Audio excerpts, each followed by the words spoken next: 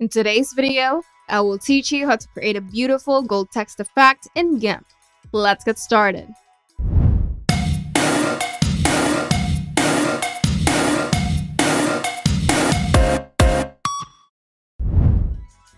Start by creating a new image in GIMP. You can do this by applying a radial gradient to the background, ranging from a darker gold color in the middle to a darker shade towards the edges. Then set your foreground color to white and select the text tool. Now type your desired text in the middle of the canvas.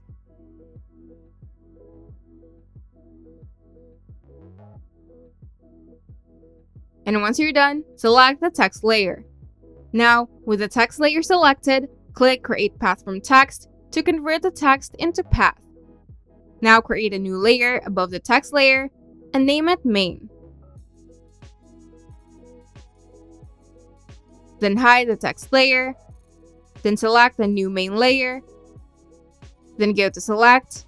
Then from Path, or simply press Shift V to create a selection based on the text path. Now select the gradient tool and choose the gold gradient. Fill the selection with this gradient by moving the tool from bottom to top. Then duplicate the main layer and name it Outline. Make sure the outline of your text is still selected. If not, press Shift V. Then shrink the selection by 1 pixel by going to Select, then Shrink. Then delete the selection by pressing Delete or Ctrl X. Increase the brightness of this layer to its maximum by going to colors, then brightness and contrast.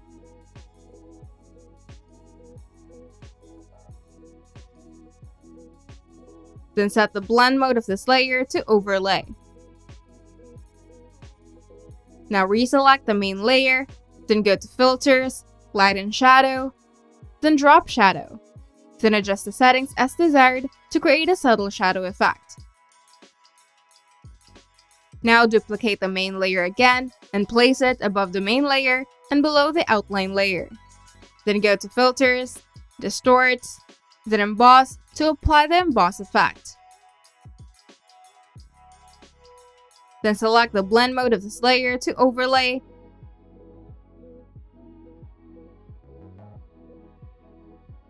and adjust its opacity to around 50%. And there you have it. Your beautiful gold text effect is complete.